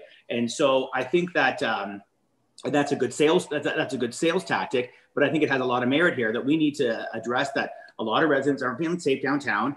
And what are we going to do about it? I mean, to me, if, if we accomplish one thing today, that would be my number one. Uh, my number two would be we're, we're, we're, finished at one o'clock today. 1230. At 1230. So we have a half an hour. I mean, um, I fear we're not going to accomplish what we, we all set out here to accomplish today. I just want to be honest. So maybe I can stimulate some more um, uh, discussion and, and maybe get to the root of the problem, which we haven't talked about. I brought up twice, but no one else seems to be be wanting to challenge with me. Um, and uh, and so as one of our priorities is clean up downtown. I don't know. I feel like I was ADDing everyone there. Okay, thank you, Councillor McCann. Who wants to uh, contribute to that conversation?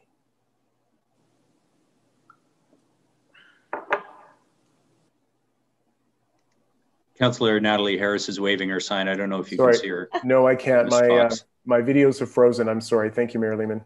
Okay, I'll tell you who's got their sign up. But Natalie, Natalie was the only one indicating.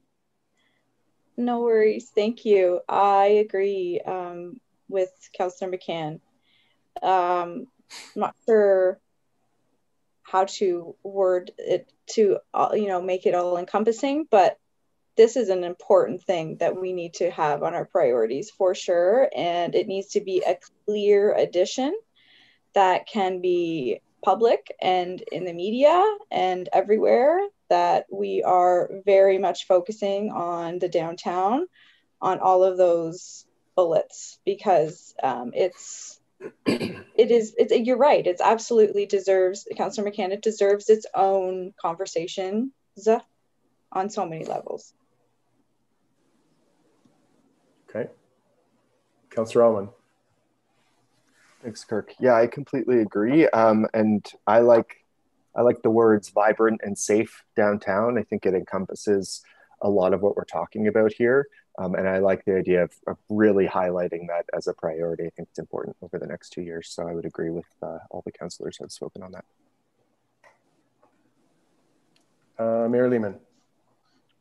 I, I, know we're not doing procedure here, but if, we were, this would be at the point where I'd say we should, I'd entertain a motion to add, uh, but but let's do that. I mean, we're having this as an open discussion. I think I think what I'm hearing is this is important enough that it should be a high level a sixth priority. Um, and again, we're not, although we, Mr. Fox gave us a ranking earlier because we'd gone through that exercise, I wouldn't propose to make it sixth out of six. Uh, they're all they're all important, and we can decide what it looks like. But uh, I I think, um, uh, and whether or not we want to say the full downtown or the West End, um, I would say in the sub bullets uh, we could talk about the West End precinct plan or the West End revitalization specifically.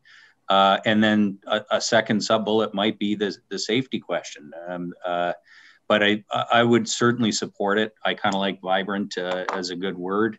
Um, but uh, I'm seeing generally nods. Um, so uh, mm-hmm. maybe we add this as a sixth priority to make it explicit to our residents and to give us the focus on, on what we want to do.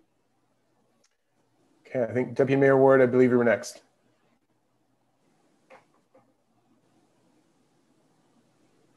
Uh, thanks. And maybe to give it some focus, I mean, I think there's four, there's three issues we've discussed today. I'm going to add a four just to confuse things even further. But I think we want to bring industrial land. I don't, first of all, I don't think we have to add a priority. I think they all fit in the current priorities. Um, but I think we have to, we want to bring industrial, bring additional industrial lands onto the market and maybe improving the vibrancy of our downtown with a special focus on the West End, encouraging more affordable housing. And a fourth one I want to throw out there is um, would be something about improving, expanding, and protecting our public spaces for local residents. And I think it's um, we've learned anything from COVID. It's that people, and, and, even after COVID is gone, I think people are still maybe discovered they want to be outside. They want to enjoy our public spaces in the city. And what are our public spaces? Well, they're obviously the waterfront lands, our resident, our neighborhood parks, but they also include our um, for example, our streetscapes, Dunlop Street, which we've done a lot of improvements, but I think, you know, we've shown by closing it for one or two days over the summer that there's a chance to expand our public uh, spaces and, and to make them more vibrant, to do something with them. Um, I think it also includes, public spaces also include public things like recreation centers, a future farmers, a future market downtown. I mean, those are public spaces as well. And I think that's something that we maybe need to focus on. In our, I, I like to add it for our last two years to really make those public spaces more of a key part. I mean, I think back to something that Mayor Lehman put on. We were discussing protecting the lands on each side of our waterways that flow into the downtown. We've got or into the water. We have a lot of them in the city center. And he said not just protect them, but make them places where people can enjoy. And we've got a hint of that coming up on Monday night, where we're going to be looking at getting some more space beside the new, the proposed new uh, condo or new uh, residential development. And I think those kind of public spaces we should put a lot of focus on because people we're going to need a lot. We're, our population is supposed to hit 250,000. I think we need those kind of public spaces for people to get out to. I mean, to take some of the pressure off the waterfront, we need to make more public spaces, especially in our city center where we're expected to have a huge population growth. And I think we have to prepare them by making, creating more public space downtown. Okay. Thank you for that great summary of everything that's just been talked about and, and expanding on the public spaces. Um, now. My videos froze, they're back now. So if somebody had their hand up, I missed it. Um, was there somebody next to comment?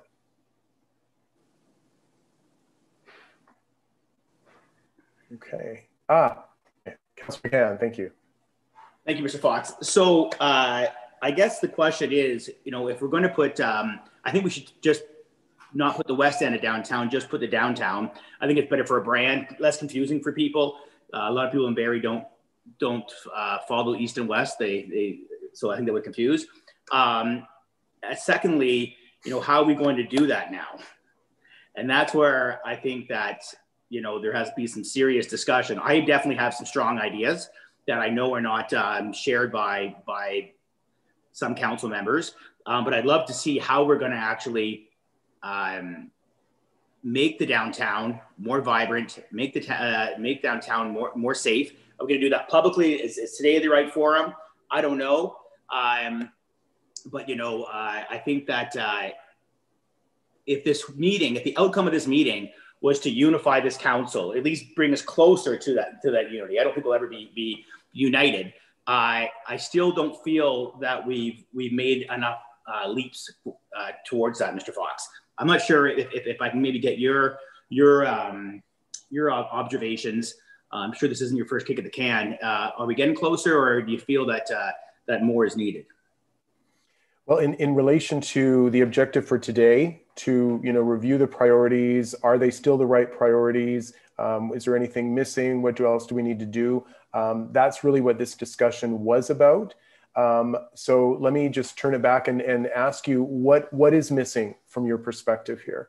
Um, so, so more of the how is what I'm hearing from you, maybe more specific ideas on how to do some of these things could be part of the discussion for the last half hour. Um, but um, what's, what's missing from the, the Unity piece for you? Well, I appreciate it, Mr. Fox. And uh, I mean, I think that the first session st- starting to be a bit of a kumbaya, and it wasn't really what I was interested in, in, in, talking about. But I actually think it helped quite a bit. I think that there's a, there's a real sense around council members that uh, maybe have to be a little more sensitive, right? And and so I think that's um, I think we've accomplished that part, getting closer together. But still, what divides us is, you know, I believe social services, right? I'm just going to say it again. You know, I believe that that issue of social services is what really separates this council uh, and puts a divide. And uh, you know, my fear is, is that we're going to leave today and it's still going to be up in the air and still maybe be a little cloudy. And that actually may have done more harm than good. The, uh, you know, I'm hopeful, um, you know, I'm, I'm optimistic that, uh, that we'll start communicating more with each other and maybe some issues that we want to accomplish. Like a question that I'd love to answer is like in two years time, where what do you want to see Barrie? Like, like what is the Barrie that you want to see in two years? And reverse engineer it just so I get an idea where Council everyone's coming from. And then a, a, great gift would be is if we can have a healthy debate about the expectations, right? And maybe my expectations are out to, are, I feel are, are not uh, are not going to make it, and, and maybe I can make a decision, say, okay, I'm going to stop talking about you know, bringing a, a horse stable uh, downtown Barrie, right? Because I just don't have the majority of council's interest and it's not the best for the city of Barrie. And so I'm not going to talk about that anymore, right? And I think there's some real issues that that that this council has. So I don't know. I'm a creative guy, and I just kind of thought of that right now, and didn't put a lot of a lot of um, you know thought into it. But definitely um, would love to hear what the other council members think with that statement. Okay, so um, I like your analogy of it's a little cloudy. What do we need to do to part the clouds a little bit here in the next half hour? Councillor Harris, Natalie Harris, you're, I believe I saw you next. Yeah, thank you, Mr. Fox. I think, uh, yeah, I agree, Councillor McCann. I think that I propose that we, you know, moving forward, have um, a specific gathering, whether it's all of us or half of us or whatever, to speak about the downtown um, and bring concrete suggestions, you know, evidence related if necessary, um, ideas from other cities. I know we talked about that a little bit when we had our pre-conversation about, you know, let's let's let's bring some actual some more it's not that we don't ever do that but some actual real ideas of what we're we would like to see happen and how we can see change and betterment in our downtown and maybe show this is how other cities have done it, etc. Um, but to just not end the conversation here, to really give that newer highlighted priority a little bit more uh, attention afterwards as well. Okay, thank you. Mr. Fox, if I can uh, jump in, um, I wonder by way of structure and, for the purposes of moving uh, council forward, uh, I think I and, and staff have heard, I think, resounding around the two uh, issues the, the employment land slash supporting local businesses uh, and the downtown, whether it be the western portion or downtown vibrancy, downtown safety. And those two, I think, have, have percolated consistently through council's you know, um, conversation on this. It might be helpful if council or general committee called a vote on those two items as to whether they be added as bullets or sub bullets um, uh, Re Rebecca James Reid's team can do the wordsmithing of what that exactly looks like and, and certainly present that back to council. But I think for clarity and the interest of moving it forward, those two continue to percolate. Uh, I think that there is is at least uh, you know general consensus around that.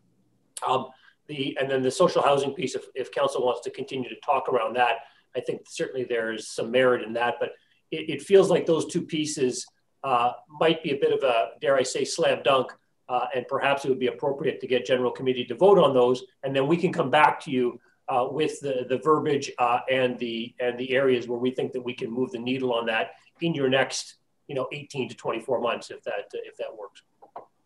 Okay. Uh, Mayor Lehman, I saw your I saw your hands. Yeah, thank you.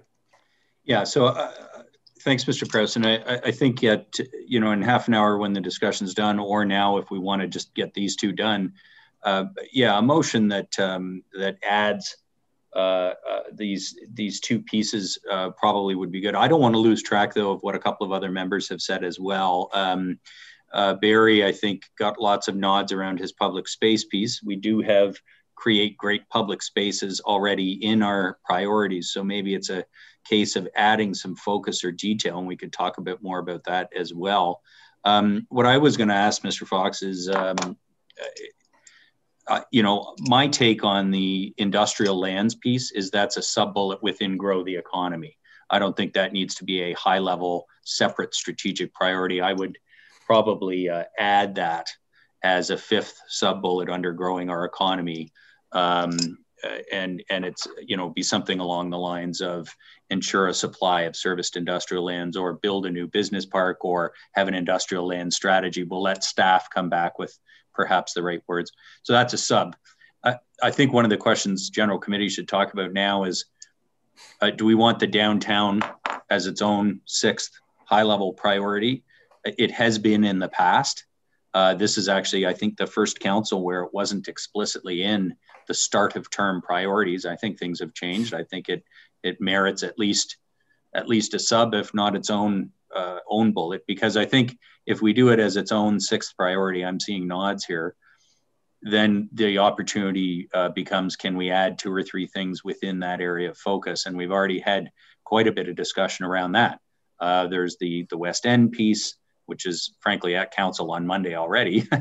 Uh, there's the support small business piece um, which I think we, I would argue for, we should have as an explicit second bullet. And the only challenge with that is if we stick it in the downtown one, it suggests we're not supporting small business all around the city. And and for that reason, I'd put put it into the, I'd actually put it under the economic one, because I don't want our residents to believe we're only supporting small business if they happen to be in the downtown.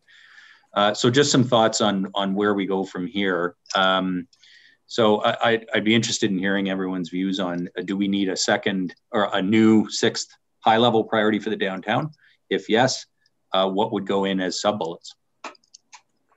Councilor McCann.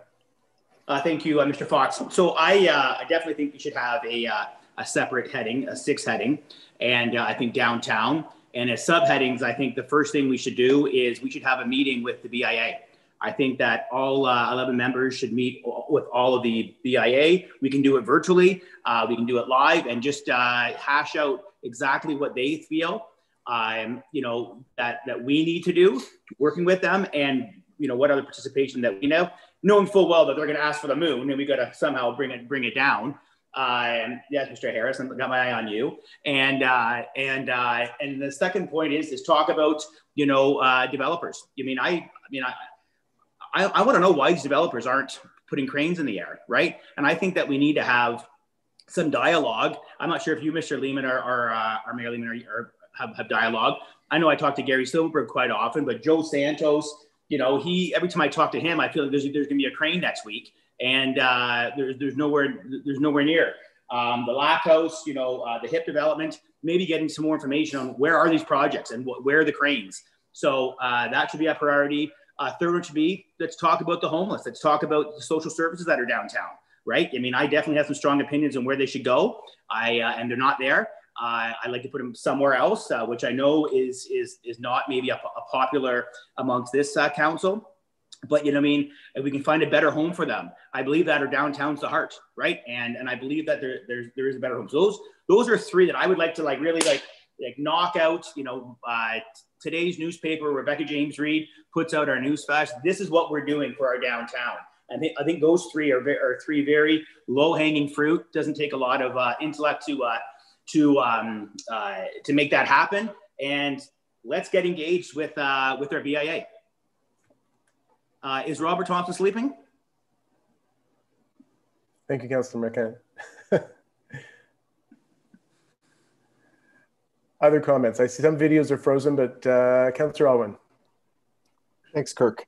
Uh, yeah, on the sub bullet idea, I think um, you know promoting uh, sustainable development and redevelopment in the downtown would be an important uh, piece.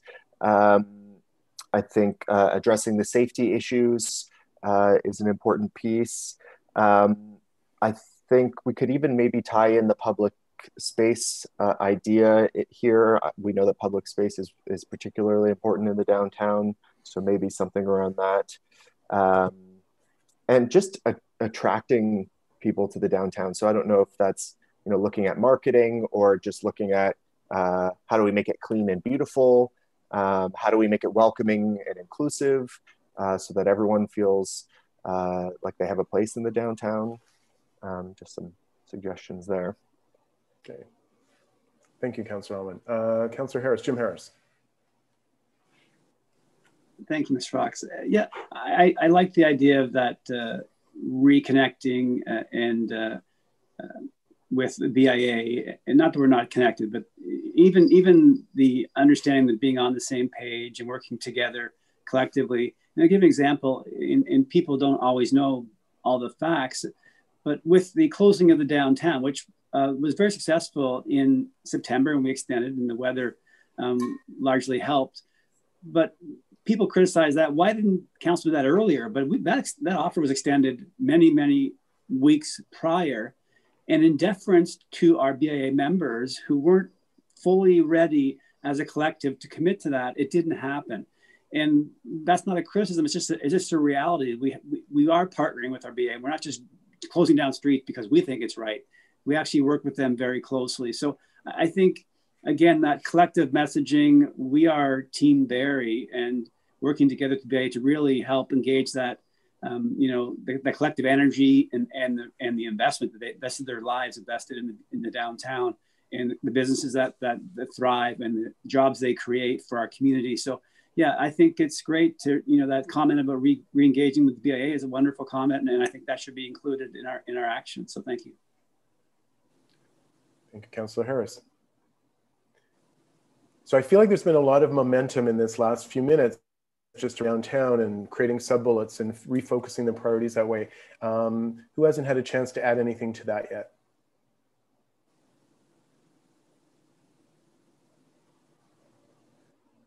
Hey, a couple more. Councillor Kungl. Uh, yes, thank you. Um, a couple things come to mind, and I think it's also as we go forward, you know, what's all the input that we have that can also contribute to how some of those um, pieces and actions are shaped. So, you know, our parking strategy also touched on the downtown and downtown considerations. Um, the BIA as a as a as a board and um, as a key stakeholder, but also then, you know, even my own appreciation of, you know, um, what are the learnings that even Ms. Schlichter, um, through her engagement with businesses, add perspectives. So you know, I'm, I'm not um, criticizing in any way, but, you know, I, I'm not sure if, you know, the BIA around representation, uh, does it capture a full perspective? And so while we are looking at doing particular stakeholder engagement, how do we make sure that if some of that is from an opinion of property owners versus business operators? And I think that's important to make sure that we have both of those perspectives. Okay. Thank you, Councillor Kungl and I'm missing who the next comment was. I apologize. Thank you, Councillor Harvey.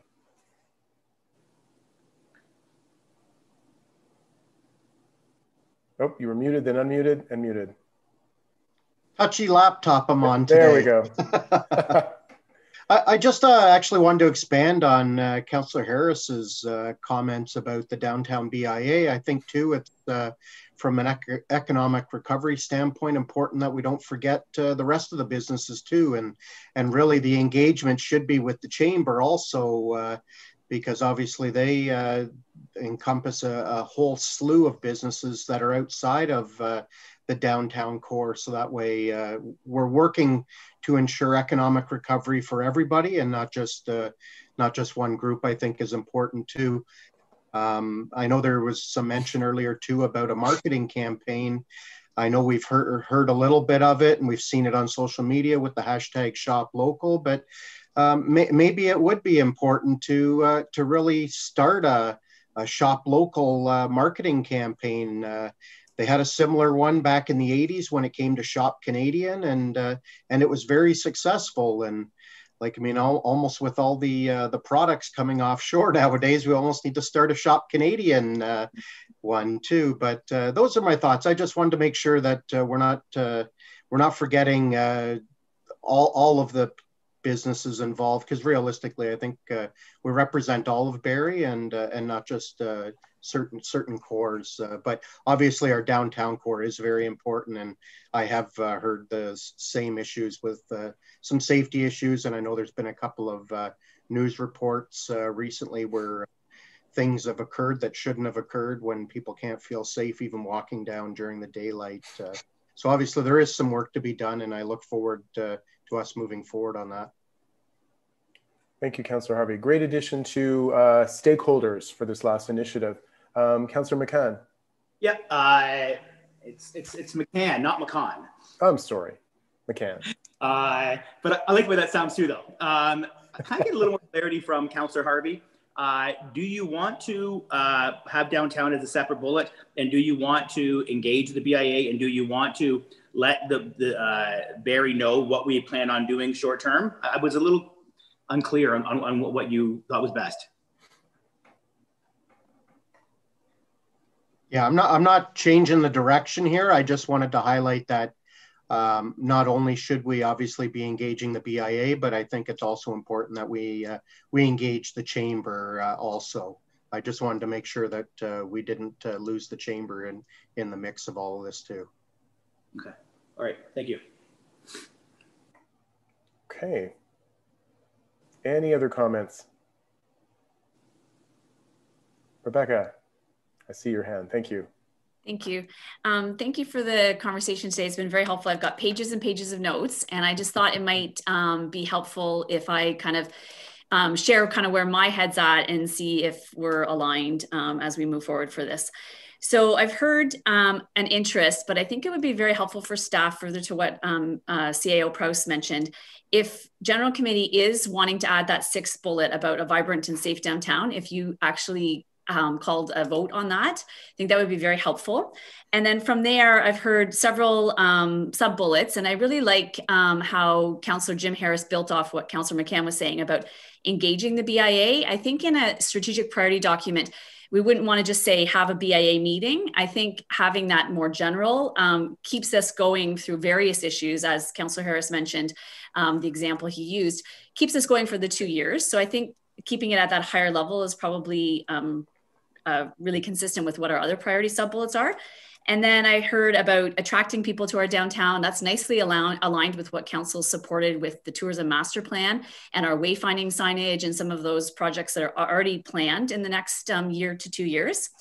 Um, also the safety issue. So we'll come up with some wording and report back in the form of a um, media uh, or a staff report, I mean. Um, so then the other issue that I think would also be helpful if general committee took a vote on is specifically around the um, sub bullets about the, um, uh, sorry, I'm just checking my notes here. So the serviced industrial land uh, and um, supporting the growth of locally owned small businesses. And if we wanted to call that out as sub bullets. Um, and then the last piece that I think we need to have a vote on is the um, comments from Deputy Mayor Ward, um, whether we want to specifically um, call out more as a priority item, which is the improving and expanding public spaces for our residents. That is listed in our priorities, but if we want to call that out, I think it would be helpful to um, have that uh, voted on by general committee. So that was all I kind of had um, in terms of decision points. And then I think the next point, um, plan, next steps would be that I would propose would be we would take this back, work as staff, and come forward with a staff report um, with the or a memo, depending if you vote on this tonight, with the specific wording, and then we can do the um, communications and update our um, uh, media and um, our website with the priorities, and then we could also get ready to launch our dashboard. So that would be kind of where I think is the path forward.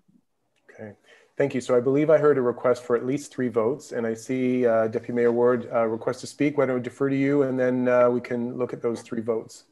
Sure, and just in light of the comments, I wouldn't mind saying uh, either my comment to improve, expand, and protect public spaces in the city center. I don't mind defining it just in that area. I think for purposes of this, it might be a sub bullet under the, uh, the downtown one in general. Thank you. Uh, Mayor Lehman, I believe you were. Yeah, if uh, if Deputy Mayor Ward uh, is content with that, I, I, think what I heard then is two new sub bullets under grow the economy. One around uh, industrial land strategy, the second around supporting local small businesses, and then a new bullet for the downtown with I think four sub bullets. Uh, because Barry's would have been the, the fourth public space, and then the other three that uh, Ms. James Reid had outlined. Um, so if somebody wanted to move that, I don't know if you're ready to do that, uh, members of council, or if you want to talk about some of them some more, but it sounds like we've got a new, new high level priority for the downtown with those four sub bullets, and then another two that we want to add under growing the economy specifically. Somebody want to move that or, or speak to them? Councillor Harris, Natalie Harris, is that a move or you want to speak? I say we move it. I think that everybody's on the same page. I'd be happy to start that if need be, or I think it's great. Mayor Lehman, I'm going to defer to you to the voting process for procedure. Yeah, so just since we're probably into discussing a motion now, I'll, I'll just chair that part. Thanks. So uh, Councillor Harris has put the motion on the floor, and to be to be clear, um, our staff are going to come back with the exact wording. So um, I think the areas uh, of of interest are not uh, are what we've talked about, but that the specific final language, our staff will report back to council with their proposed language, and then we will approve it at that point. So don't worry if you're concerned that there's wording that might have been missing in what Rebecca had just uh, read out. I think the the important thing is that all 11 of us have a shared and um, aligned view of what we are adding as priorities. And I saw lots of nodding when she was talking, so I'm going to assume that uh, there's good alignment. But um, uh, on the motion that's on the floor, uh, would anyone like to comment comment further? Okay, if not, I'll just say that was really good work. Oh, Keenan, go ahead. Sorry. Um, one thing that, uh, and I know uh, this might not you know have the consensus that's needed. But one comment i had thrown out there was about promoting gender and racial equity just because of what's happened this year. Um, i think it's an important thing to highlight. I feel strongly about it but i understand if council doesn't. But i'm wondering if i should move that as an amendment or move that as a separate motion. Um, if i'd like to see that as a sub bullet point maybe under fostering a safe and healthy city. Uh, just procedurally what would you suggest uh, just because we've got this on the floor from Councillor Natalie Harris, why don't we just deal with what's on the floor and then uh, I'll come right back to you and you can and we can have that conversation. Okay. Sounds good. Uh, so you. just just in terms of the six that are on the floor at the moment, uh, six sub bullets, I guess, and the one new high level bullet. Uh, any further conversation about what's on the floor? Okay, I'll call the question on that. Uh, those in favor of adding those as strategic priorities, I am as well. Jim, yes, I think I saw everybody, so we are unanimous on that. Uh, thank you. That was really good work, uh, members of uh, General Committee Council. Councillor Aylwin. Thanks, Mayor Lehman. Uh, so I guess I would move that uh, we create a sub bullet and uh, hopefully staff can work out some wording around promoting gender and racial equity, potentially through collaboration with stakeholders or something along those lines, and to put that as a sub bullet under safe and healthy city. Okay, uh, comments on that, Councillor Natalie Harris. Yeah, I don't know. Sorry, I'm gonna actually. Should yeah. I turn this back to Kirk? Happy to if you want me to. We, we've got five minutes. Why not? You're here. We're going to use your services, sir. So All right. Kirk, you can uh, you can lead us through trying to reach consensus on this on this issue if there's uh, further work to do. Uh, and, and maybe we'll just let Natalie kick us off and then. Thank you. Uh, sure. I guess this general committees. Um, I guess we probably don't need a seconder, but I would definitely be in favor of that for sure. Thank you, Councillor Harris. I saw another sign, but I wasn't sure if it's to speak. Councillor Harris, Jim Harris. And then Councillor Harvey. Yeah, I'll just quickly say I think this fits well because one thing that we have done uh, in the past year was the uh, for, the forming of the anti-racism advisory committee, right? So it fits. So our, we already have a how, a, a driver for that effort. So I think it makes perfect sense. So I would support that absolutely. Thank you, Councillor Harvey.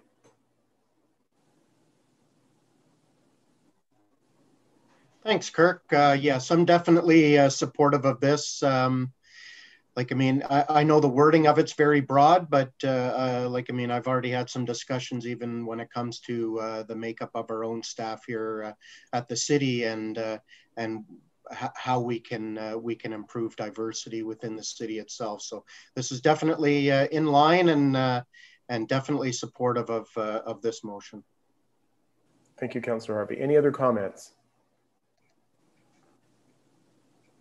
Okay, the heads are saying so no. I, I, I, would love to see council adopt this. So what we're talking about is another sub bullet under uh, fostering a safe and healthy city, which I think is a good spot for it. Uh, and again, our staff can bring back tweaks to the wording, but uh, it's explicitly making a strategic priority the pursuit of gender and racial equality in Barrie, which I, I love as a priority. So uh, that's what's on the floor. If there are no more comments, I'll call the question. Those in favor? And nobody is, I'm in favor as well, so that's unanimous. Uh, anything else, members of general committee? I just wanted to mention something by process from takeaway today, because for those who want to do deeper dives on some of the issues that we've raised here, I really did hear that. And, and I'm very conscious that, you know, with, uh, we often use reference committees for that and, and we can all attend a reference committee meeting. So for example, if we wanted to do a deep dive on, on the affordable house or deeper dive on the affordable housing issue, uh, city building committee would be a great place to do it. Or we can do presentations at general committee. I mean, there are procedural ways that we can do these things. But one thing I wanted to mention that I really took away from today is uh, council's interest um, in having some strategic involvement on the uh, on the uh, the implementation of some of these priorities uh, in our specific areas of focus. So we're not sort of setting the high level priority and then just reacting to how things end up bubbling up to us because I think there's a, a feeling that maybe it, doesn't always align with the the priorities that we we may hear in our community or we're only capturing some of the issues. So what about the rest of it? And those sorts of things. So i'm going to take that away. I'm going to talk with staff about how we might do that. I'll talk with the committee chairs councillors mccann and morales about how we might use the reference committees to do some of that. Um, but i think that would be a great way for council to spend some more a little less structured and more strategic by which i mean the the broad, not just a project or a specific site or something, but the whole issue of affordable housing or seniors or small business. How do we as council uh, go further towards our goals um, after today? So as part of a reset. Okay, thank you, Mayor Lehman. Um, at this point, if there's no other comments, um, we can, I, I, don't know if I'm saying this correctly, move to close the meeting. Is that uh, fair or? Yeah, we've had the uh, motions on the priorities. Ms. Cooke, is there anything else we need to do while we're sitting as general committee? No, Mayor Lehman. Okay. Uh, I want to thank everybody for spending a Saturday morning uh, in this way. It was very, very useful uh, on, uh, on how we work and then especially on what we're going to work on. Um, so uh, there's more to come. Um, Ms. James Reid, this will be back in front of council, I assume maybe first of the new year kind of thing. Thank you, Mayor Lehman. Um, certainly, we will be doing it as fast as we can um, to get it out to the public. Um, so I just I, I don't want to commit on an exact date. I would I would hope that I could get it to you sooner than that, maybe in a draft format, but for sure by first of the year. Great. Okay. And uh, thank you very much, uh, everybody. And Mr. Fox, uh, thank you uh, I do want to say a special thank you for leading us through uh, this morning's session. And uh, I think your your help was was very very instrumental was instrumental in, in helping us get to this. So, thanks for that, everybody, and enjoy the rest of your weekend. General committee is.